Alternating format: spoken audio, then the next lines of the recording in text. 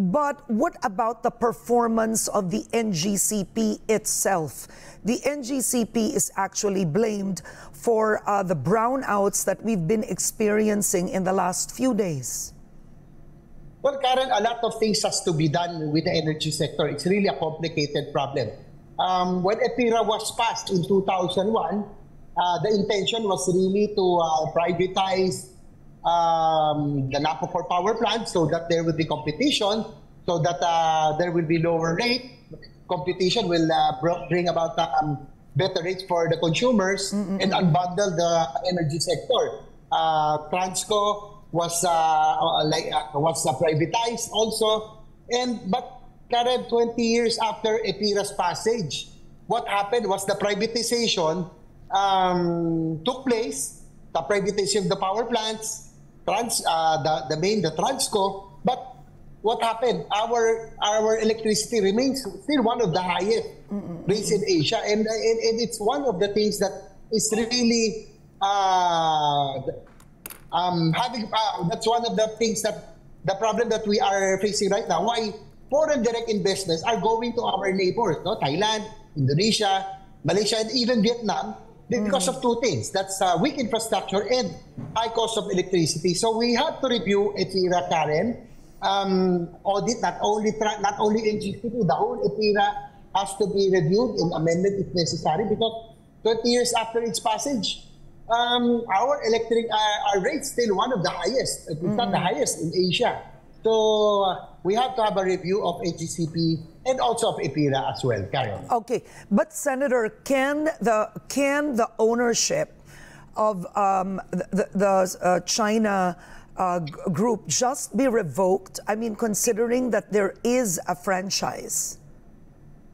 Well, we um, it depends on the audit. No, I think the franchise is uh, has to be reviewed mm -mm. from time to time by uh, by Congress and the regulators. And if we can see that, that they are not really performing as expected, mm. and but more than the performance, Karen, again, I would reiterate, I am more concerned with the national security yeah. issue yeah. because of the current situation mm -hmm. right now that we have with China. But I understand that, but apparently, correct me if I'm wrong, NGCP says that um, uh, the franchise ends in 2058.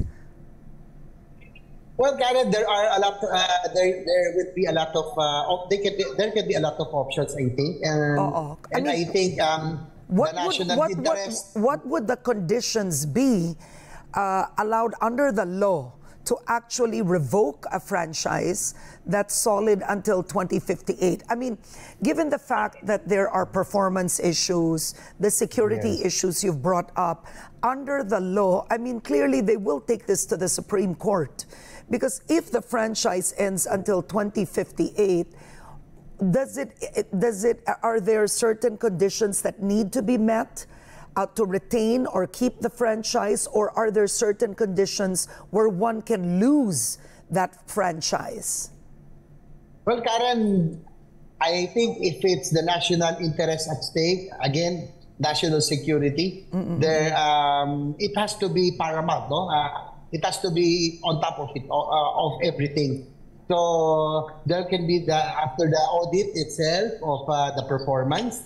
Mm. Then uh, I think we have to address, and then I'm. Um, I heard also that the, president already also yeah. considered our mm. proposal to audit and uh, perhaps take back the control from uh, the State Grid Corporation of China. It has to be. I I, I still maintain that. Um, utilities like uh, air navigation system, surveillance system, and also the backbone, the very backbone of our uh, electricity nationwide has mm. to remain under the control of uh, the Philippine government yeah. or, the or any Philippine entity.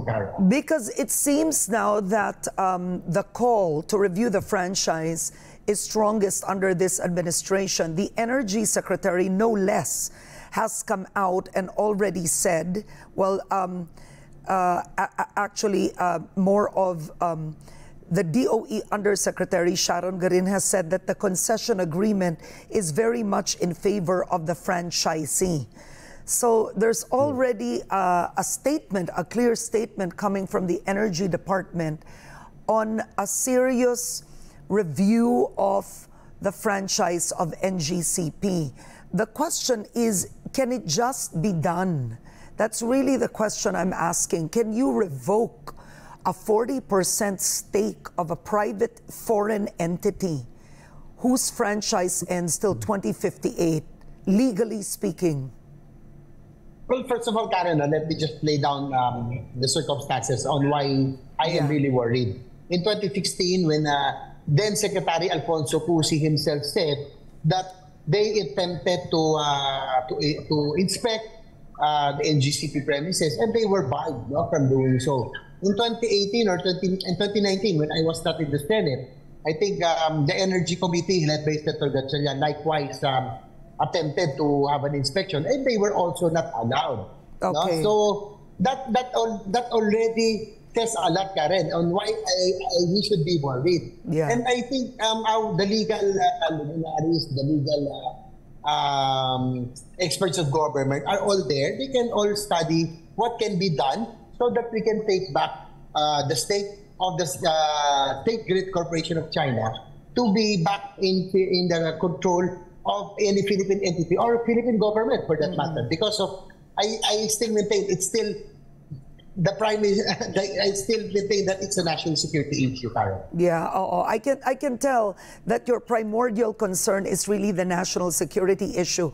Other than the other than that, the performance, the issue also of uh, the tax collected, the, the franchise yes. tax equivalent, which is only, they say, at 3% of all gross receipt, receipts derived from its operation. Uh, you have some saying that it's too generous, that it's honestly speaking, it, it was so discretionary to grant that number. Yes, Karen, that I think that is too this, uh, this that's very advantageous to the franchisee. Yeah. It's disadvantageous to government. government. That has to be that has to be reviewed as well, Karen. And mm -mm. um, ano, eh, there are a lot of things that has to be taken into consideration. Ba? And uh, but uh, Karen, first of all, as uh, what Senator Win has said, first of all, uh, this not this should not have been privatized or yeah. been given to a private entity. Mm. And I think it's about time that uh, 22 years after the passage of EPIRA, everything has to be reviewed. No? The performance of the privatized power, power plants, um, the Transco and GC performance as well. Did they come up with the with uh, their commitment to uh, install of these uh, all, all, of these grid, grids even in the GIDA or the geographically geographically isolated areas. So there are a lot of things that has to be looked into, mm -hmm. performance, um, financial wise, and uh, uh, the taxes, no? Mm. Uh, I think it's really 3% is really very, very uh, uh, disadvantageous to the government. So a lot of things has to be, um, there are a lot of things that need to be considered and can be brought up no, as a big factor in why we should or we should not um, renew the franchise of, uh, of NGCP, Karen. All right. Well, on that note, I want to thank you so much, Senator J.V. Ejercito, for joining me today. And I know that this will be um, discussed in a Senator Grace Poe's panel. And yes, it... and I'm, I'm glad, Gary, that a lot of senators right now are are having the same position right now. And then mm. I do believe in the chair of the Committee of Public Services, Senator Grace Poe. She has always been fair and she has always been fighting for the interest of uh, what will be advantageous for for the Filipino or the Philippine government. So yeah, you can we can expect that she can call a hearing very soon. All right. On that note, Senator J.V. Ejercito, once again, thank you very much, sir. Thank you. Thank you. Thank you, Karen.